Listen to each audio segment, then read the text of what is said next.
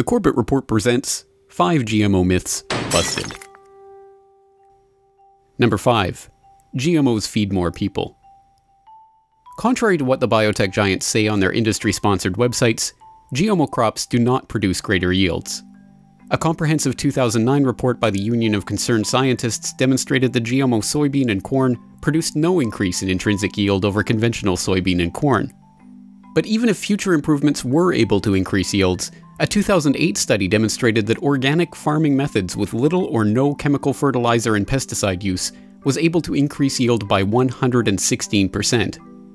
But there's no money to be made for the international agrochemical companies by citing that research, so the public continues to be told that GMOs, which do not increase yield, are necessary to end world hunger.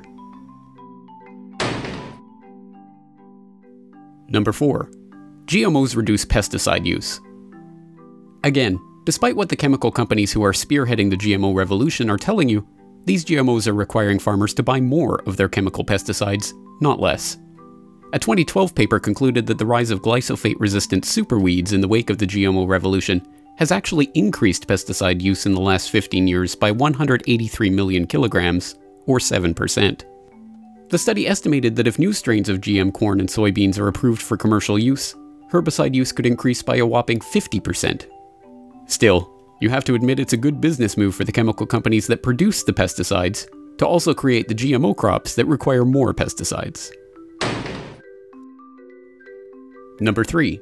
There is no scientific proof of adverse health effects from GMOs. This is one of the most disingenuous claims of the GMO PR campaign. In reality, the FDA doesn't even test the safety of GMO crops. Instead, all GMO foods are assumed to be safe unless there is already evidence to the contrary. In other words, the FDA relies on self reported data from the companies that manufacture the crops as to their safety.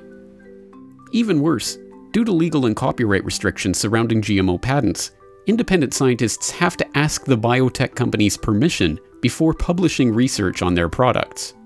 As a result, Almost all of the long term animal feeding studies that have ever been conducted on GMOs have been carried out by the biotech companies themselves, on their own rules, and with their own standards of reporting. What few independent studies have been conducted have shown a range of adverse health effects, from reduced fertility to immune system dysfunction, liver failure, obesity, and cancer. Yet still, for some reason, Obama's food czar Michael Taylor refuses to make FDA testing of GMO safety mandatory. I wonder if it's because he used to be the vice president of Monsanto.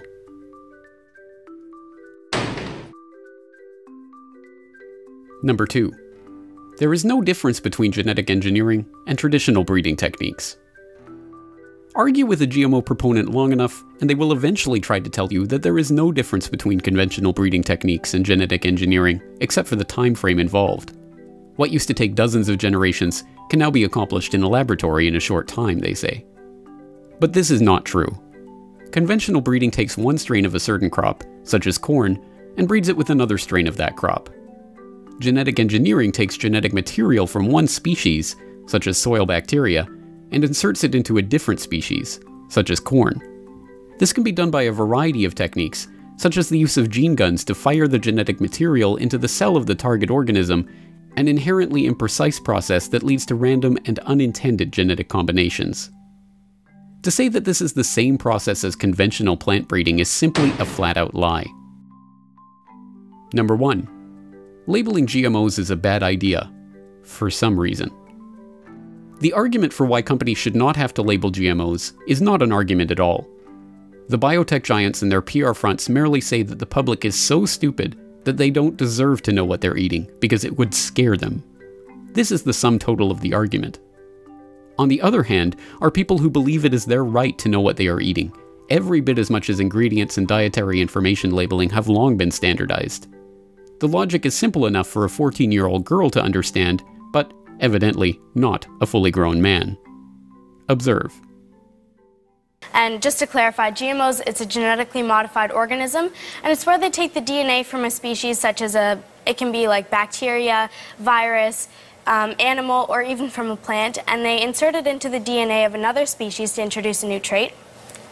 For instance, a common trait is pesticide producing.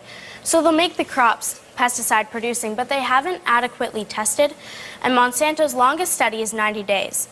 That really doesn't determine how long term it's going to affect our health, the environment, and even our entire ecosystem. Yeah.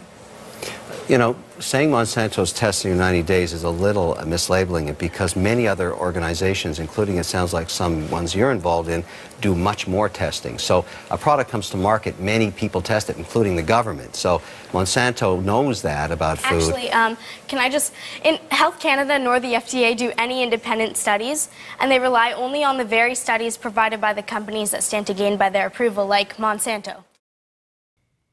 For more news and information, please follow the RSS feeds at CorbettReport.com, subscribe to this YouTube channel, or follow us on Twitter at Corbett Report.